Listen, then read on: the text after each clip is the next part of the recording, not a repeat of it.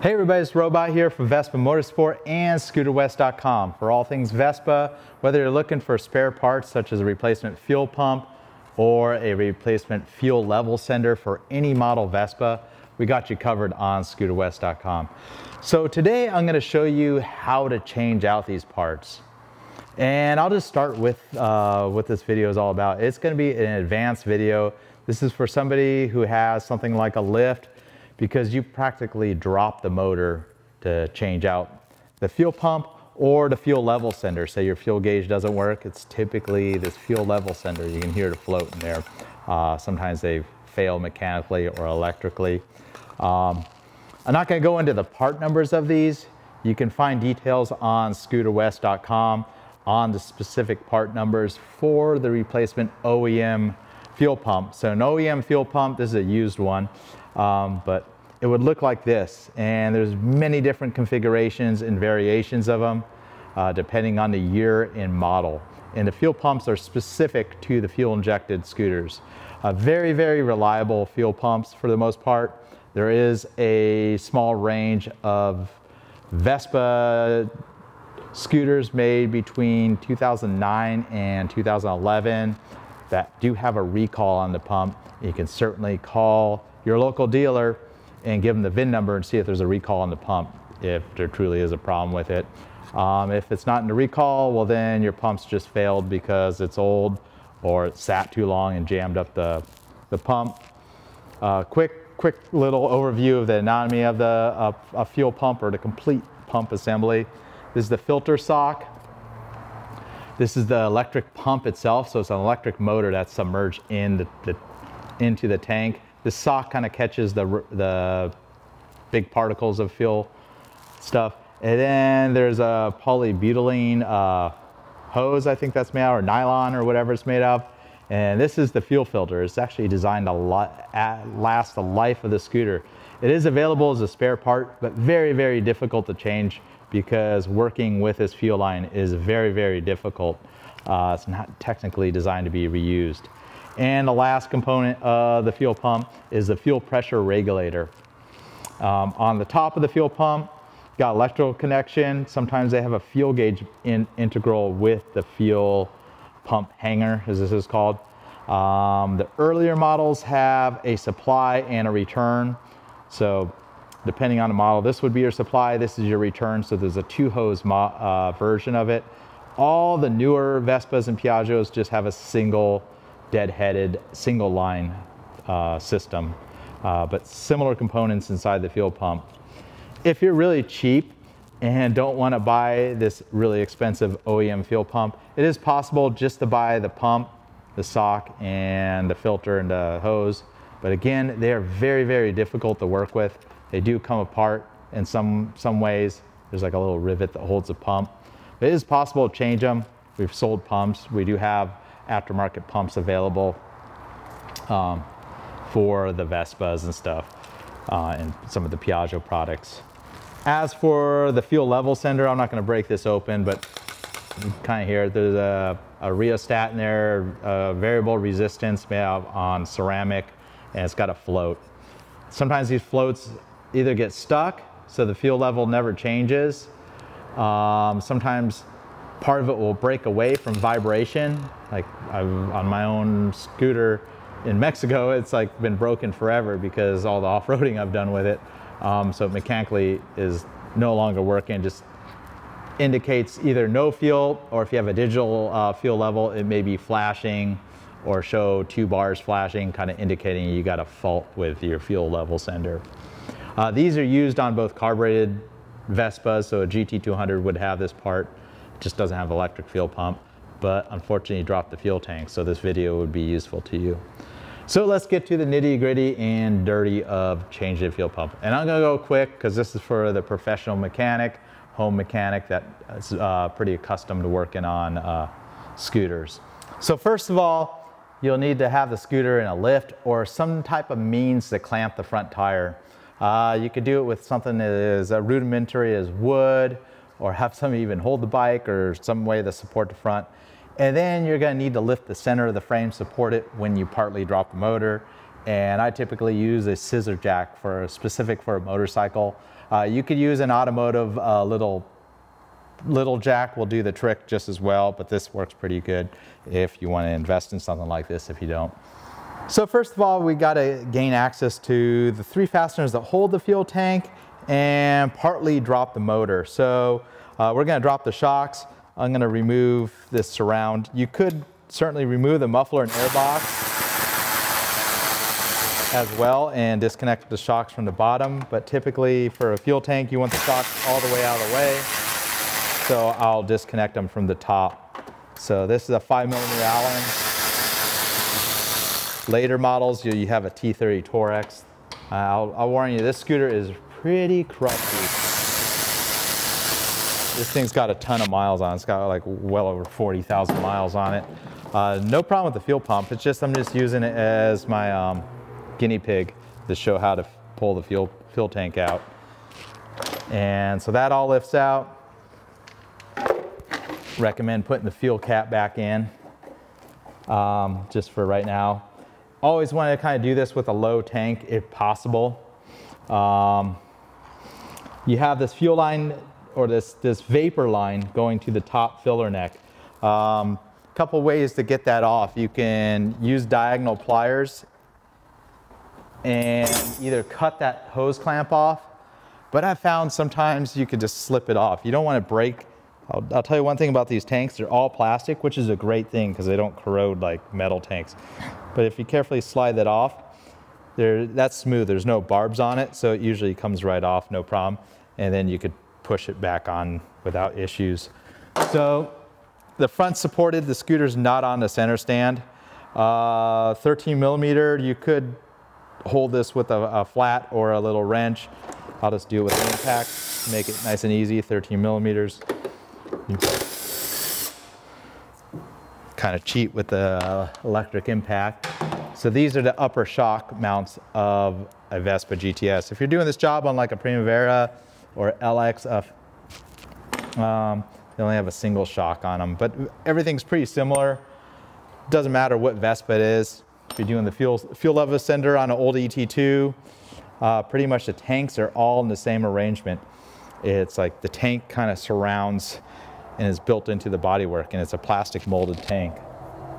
So now at this point, the scooter kind of lifts, you know, you know, and uh, we're getting pretty close at that point. So uh, next, I'm going to remove the side skirts cause, and the tail light because that's what we need to do to get access uh, to some of the fasteners for the tank. So I'll get these skirts out of the way. Uh, typically always a screw Phillips or a Torx screw on the front part. Now I'll warn you, this scooter is crusty. I can't believe I didn't pressure wash it before I started doing this job. I'm gonna be filthy by the time I'm done with this job. Typically, um, something like this, I'd, you'd want to pressure wash it before you um, tackle this job. The, you know, the tank just gets really filthy up in the frame from all the tire, tire dust. And then behind here is typically a nut, but this scooter has been missing for a while. So you normally have a nut. This thing's all busted out, what you expect for an old crusty uh, scooter like this. And now you can see part of the fuel tank and you're like, well, how is this gonna come down when you got the motor in the way? Um, well, we're getting there. So on the rear, we're gonna go ahead and remove the tail light. Like, why you gotta remove a tail light for a, a fuel tank change? Voila, there's a hidden fastener under here that's just specific to holding the fuel tank.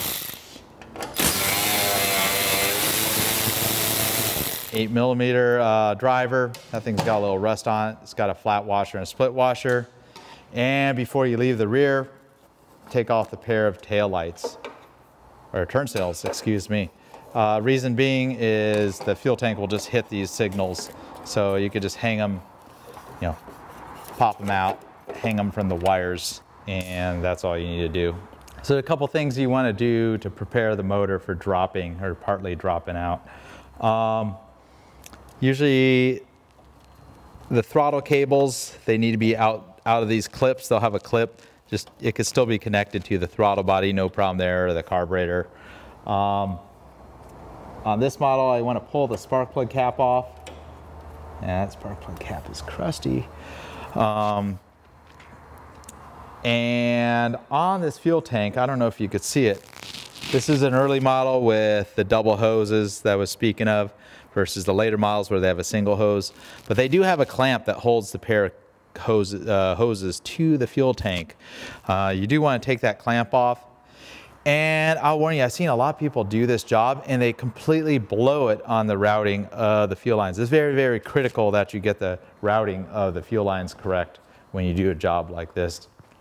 So you remove that clamp that holds the pair of hoses to the fuel tank and don't lose track of the little clamp. They have a different style clamp for the single hose variations.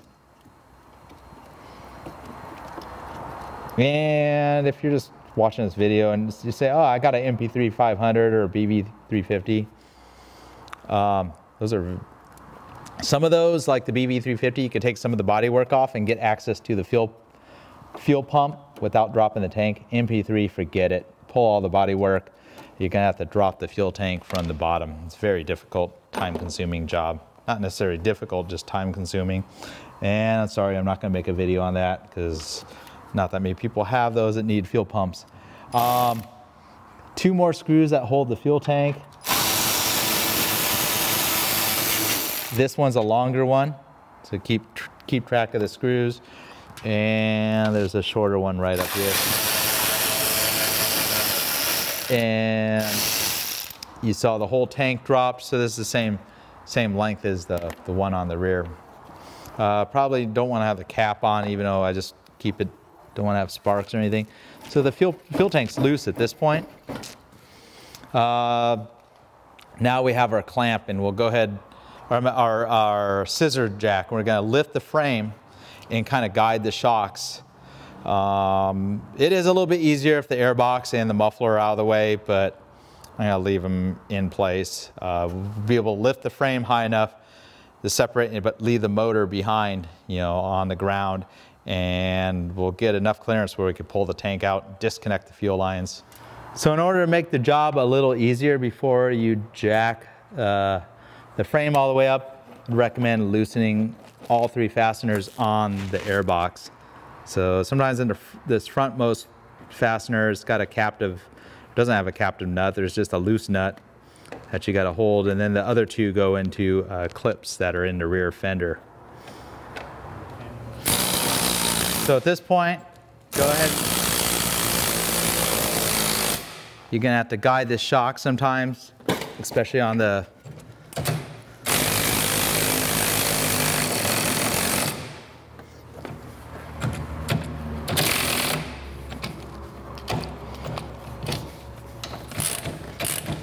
And you can see how high the motor is. Just keep an eye on all your hoses, electrical connections, make sure nothing's stretched too tight. And you pretty much need about this high in order to drop the tank. So at this point, we can carefully drop the tank down. Um, sometimes it will bind up. Of course, the more you drop the motor, the easier this goes. Push the filler neck right all the way through. Um, and at this point, I could see most of the top of the fuel pump. And sometimes you gotta go just a little bit higher than you think. Um, but at this point, I see the hoses, the electrical connections, even the fuel level sender, which is up on this upper section of the fuel tank. But I wanna get this tank all the way out just to show everybody how it, how you can change out the fuel pump. Uh, make sure this is pretty clean up here. Um, the lines kind of, uh, they are molded so they terminate in the exact same spots there. And I highly recommend cleaning this before you just, you know, remove those fuel lines. So I'm gonna take the, first the fuel level sender, and I'll show you, there's a tab on the top of the connector. Sometimes you'll need a little screwdriver to get it loosened up makes a little click. And there you go. So I'm pushing on this little tab to release the connection. Uh, sometimes there's corrosion on this connection. That's maybe why your fuel level sender is not working. And the other connection is to the fuel pump. and it's got a tab on the top and you want to lift the tab versus press the tab.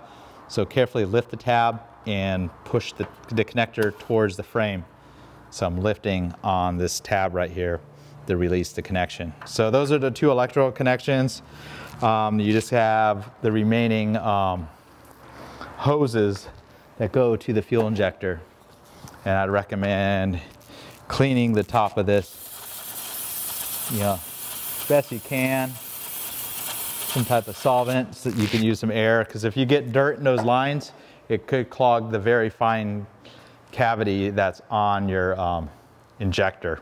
So pretty much all these older fuel pumps have this style of clamp that holds the, uh, the fuel line. So the fuel line's stuck in there, but it rotates. And I'm rotating the fuel pump, the fuel line. So the way you want to do this is I'm pushing down the fuel line and then that ring that's around the fuel line, you want to push it down and then start lifting the fuel line. And you do not want to force anything. I'm to try to do this with the camera in the way and hopefully you can see what I'm doing. I'm gonna do it with two, two fingers. I'm gonna push this ring down.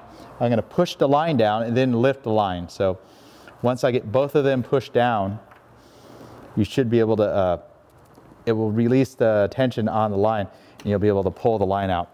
And I'll warn you, there may be some fuel pressure if your fuel pump is working, that may spray back at you. So um, the inner one's gonna be your gray one, kind of keep track of how they go. You don't wanna cross them up if you have this older style two line system and do the same here. So pretty much, I know my hands are in the way. I'm pushing both the line down and the ring that's around the fuel pump down and then pull the line out. And I recommend leaving these lines up high and a little bit of gas leaks out. Now we're able to pull the fuel tank all the way out. So in order to pull the fuel tank out, you pull it towards the back of the scooter and then you can pull it directly out. So in order to pull the fuel level sender out, I recommend having either a piece of flat iron or you know some type of thin piece of steel or this wrench. Um, because typically what you want to do is get it in this slot and rest it up against this connector and we're going to turn it counterclockwise and just a bayonet fitting and then it disconnects. And it, it's got a little hole in the bottom that allows it to leak the fuel back. There's a gasket right here. Um, and to put it back in place pretty much just flip this around and make sure it goes all the way to where it stops. And this is almost um, horizontal or vertical with the top of the tank. So removing the fuel pump, it's a little more difficult. They got this ring. Uh, you can use a strap wrench, even a big pipe wrench. You just don't want to damage. This is a plastic nut. I have this oil filter tool that works very good for this job. So go ahead and remove this ring here. And that's the orientation. You can install it in different directions, but then you lift it out and it's just, of course, don't want to have the fuel tank too high. And you got to kind of walk the, the pump out. So this, this pump is likely original. Uh, no issues with it. So I'm going to put it back in. Like I said, they're, they're usually pretty robust. Uh, not too many issues. There was a recall, and I kind of outlined uh, those years. You can check the VIN on it. Um, but nothing wrong here just you got to be careful when you reinstall it that you do not uh, break that flexible line. So you got to tuck that flexible line in there. It's obviously a little harder with a brand new pump. Make sure the gasket's all in place. The new fuel pump doesn't come with that gasket. They generally are in really good shape and hold up quite a long time, but may not be a bad idea if you have an older one of these scooters to replace that gasket. And then just go ahead and spin the nut back on. Of course, we'll orient the, the fuel pump before we tighten this all the way down. You gotta feel where the thread starts. Sometimes you go backwards with it and then you'll feel the, the thread start. There we go. You don't wanna cross thread this big plastic nut. Make sure that's about there. Make sure it's tight. Make sure the gasket wasn't pinched. Worst thing is you put this all together and it leaks from when you fill up the tank because uh, you won't see a leak unless you have a higher fuel level. Both the sender, I've seen leaks from the sender, leaks from the gasket at the top of the fuel pump. So how do you know if you need a fuel pump? And a lot of people just want to buy a fuel pump for the sake of thinking they need a fuel pump. Uh, you really need a fuel pressure gauge that's specific for uh, motorsports and fuel injected vehicles. The automotive ones don't always have all the right fittings for these Vespas, but sometimes they do. Uh, we have some specific specialized tools here at the shop with uh, the same fittings as the, the fuel hoses. And you pretty much put the fuel pressure gauge in, in between the hoses. The normal pressure pretty much for nearly all the Piaggio and Vespa scooters is 2.5 bar, about 36 PSI, and it's about um, and when you shut the scooter off, it should bleed down to zero very slowly. If it drops to zero very quickly, there's a problem. You probably got a leak in the pressure regulator or a leak in the little line or a split in the filter internally. Um, and also, if you have a problem at high speed, you may want to monitor the fuel pressure when you're operating the scooter, and it needs to stay a very constant 2.5 bar. Uh, the fuel pressure is referenced to atmospheric pressure, Sometimes they reference to the intake manifold pressure, but not, not the case with most um, or all these Vespas and Piaggio scooters. Uh, definitely takes a few tools to diagnose uh, these fuel pumps. Sometimes I'll check the current draw, see what the pump's drawing.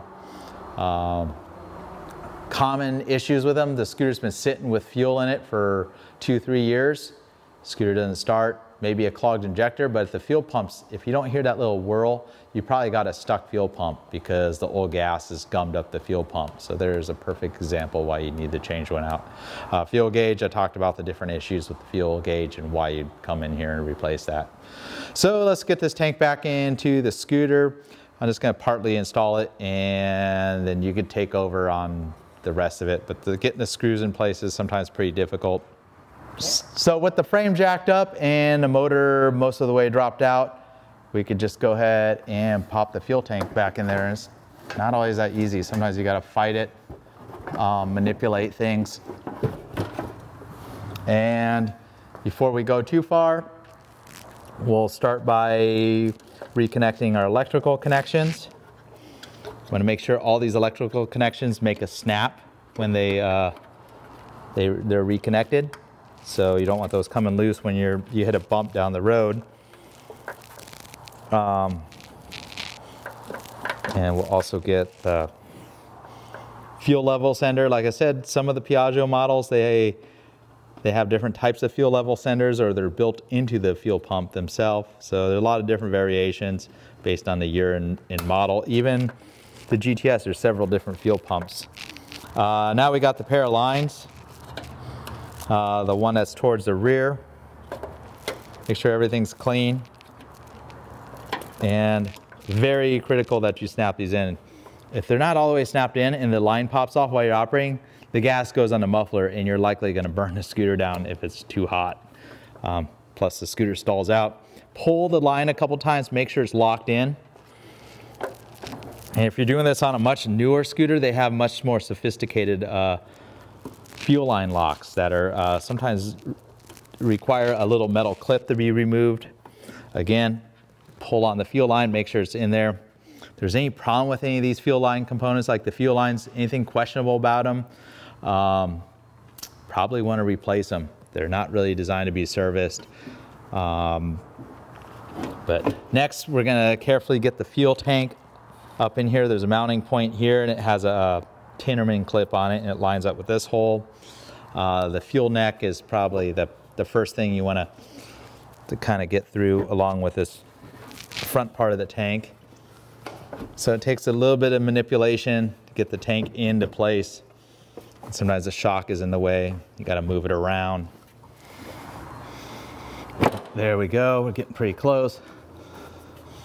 Push it up. And I typically like to take the longest screw. It's the hardest one to kind of find the position. So we're going to lift the tank. And I don't recommend tightening these all the way. Got to sometimes move the tank all around until you can get them all to line up and start the thread in. So make sure they definitely start before you um, tighten them. And then you got the, the frontmost fastener here. This one you can see, fortunately. And you could even use a little Phillips screwdriver to kind of move the clip around if you're having difficulty. Get them all started, kind of make sure the tank's in the right spot. I always start by tightening the center. Center one, move to this one, and the last fastener at the tail light. And we'll go ahead and reconnect the, the evaporative emissions line. You don't want to forget there's the clamp that retains the pair of hoses. At this point, we can carefully start to drop the motor um, or the frame back down. Uh, the key is getting the shock absorbers uh, lined up for the and the pair of shocks will just drop right into place. So at this point, you put everything back together. Make sure you tighten um, the nut that holds that, the fuel line in place. Make sure you pop your spark plug cap back on. Um, any of the, the hoses, make sure nothing was pulled too much. And before you go too far, it'd be a good idea just to start the scooter, see how, it, how it's going. And of course, tail light, any of the body work that you took off, and at this point, we could see if the scooter starts. See if I messed anything up. I don't think so. I heard the fuel pump uh, whirl up. It may take a little bit of starting the start the first time. Sometimes you want to cycle the key a few times and allow the pump to prime so it'll start. Starts right up, no issues. And I have a fuel gauge that's uh, working as well. So thanks again for watching. I hope that helped you out. Whether you're just a pro mechanic and looking for tips and somehow you stumble across the end and just scan through this video, uh, I respect you. Hopefully you got something out of this video. If this is way beyond what you'd ever do, maybe you learned something and how the fuel tank's uh, configured on a Vespa and what a fuel, fuel pump and the fuel level sender looked like on a modern Vespa. Thanks again for watching. This is Robot here from Vespa Motorsport and ScooterWest.com. Consider supporting this channel by purchasing products for your Vespa scooter, whether it's spare parts or accessories on ScooterWest.com. Thanks again. See you next time.